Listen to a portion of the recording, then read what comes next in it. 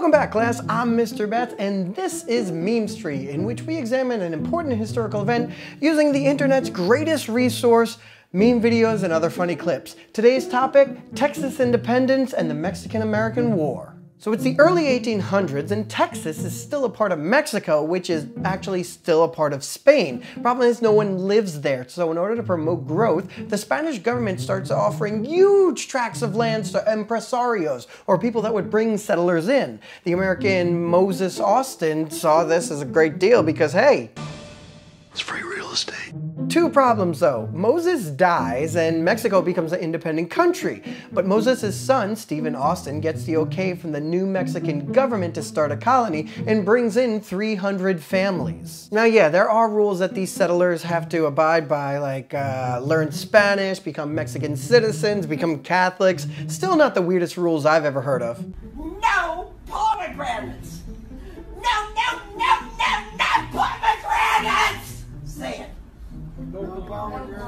And Texans really didn't follow the rules anyway. Now, Mexico had made this offer to the entire world, but it was pretty much just Americans that were coming in, and in greater numbers. So in 1830, the Mexican government officially shut down all immigration from the United States into Mexico. This sounds weirdly familiar to me. Really strong. Number one, I'm building a wall. They're not coming in anymore. Number two, immediately we get, we're building a wall.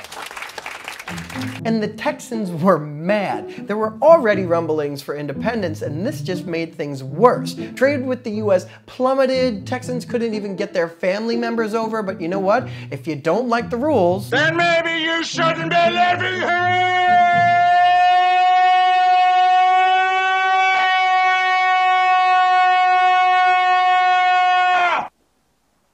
That's easily fixed. So Stephen Austin meets with General Antonio Lopez de Santa Anna to discuss maybe making Texas its own state and is immediately shut down. He sends word back to Texas that maybe we should start planning for an independence movement but is arrested when that message is somehow intercepted.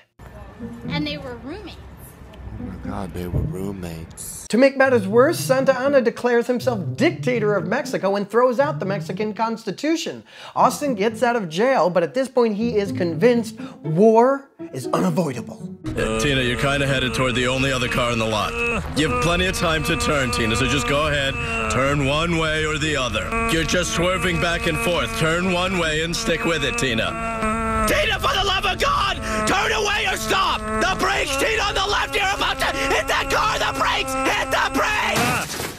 Oh my god, it's bad. By October 1835, Santa Anna had sent soldiers into Texas to put down any rebels. And the first actual fight takes place in the town of Gonzales, where the Mexican soldiers were supposed to take a Texas-held cannon. The Texans mockingly adorned it with a flag that said, come and take it. Oh! So after that, Texans, calling on a diverse group of volunteers, defeated a much larger Mexican force in San Antonio. But the following year, Santa Anna and his men surrounded a small group of Texans in the San Antonio-based mission called the Alamo. And they were in a real pickle because while they did have cannons, they had no gunpowder. Wait, did they did they check the basement? There's no basement at the Alamo. 12 days went by while heroes like William Travis, Davy Crockett, and Jim Bowie fought off onslaught after onslaught. Finally, the Mexican cannons blew through the wall and the Texans were no match for their overpowering attack. And while all of this was going on, Texan leaders were meeting in the town of Washington on the Brazos, where they drafted a new constitution and declared independence on March 2nd. The Republic of Texas is born. Hey, Patrick, what am I now? Uh, stupid? No, I'm Texas. Ah, I think I lost my Texan audience with that one. Sam Houston was chosen to lead, and one of his first decisions was to have his troops retreat from their position in Goliad to go protect more important forts. Unfortunately, while retreating, they were captured by the Mexicans and executed in what's called the Goliad Massacre. Not a great start for the new country. Are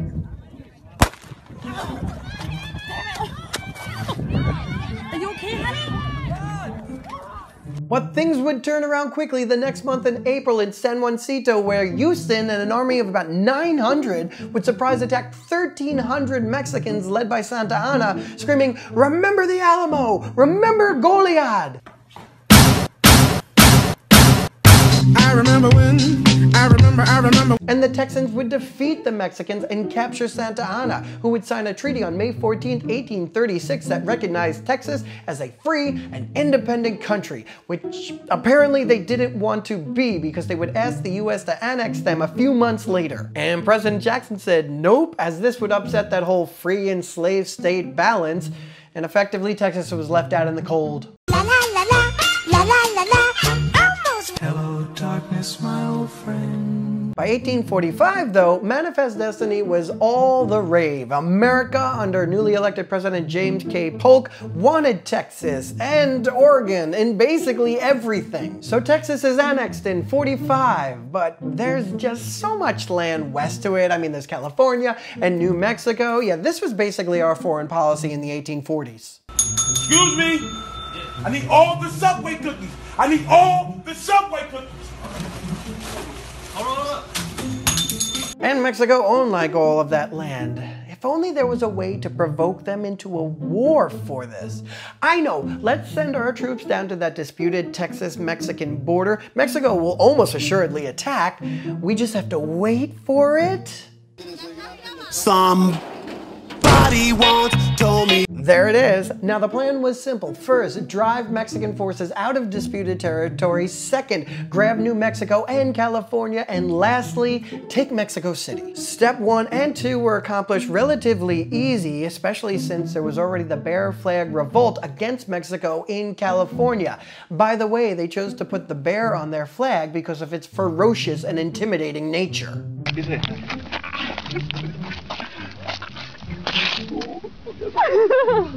General Winfield Scott and his forces would make their way to Mexico City, capturing it in September 1847, and the Mexican government surrendered. The Treaty of Guadalupe Hidalgo would make the Rio Grande the official Texas-Mexico border. The Mexican cession would give us tons of land on the cheap, and with the Gadsden Purchase, Manifest Destiny would be complete. Now we just have to take all that land, turn it into states, and come up with logical names for them. So I am confusion. Why is this one Kansas, but this one is not Arkansas?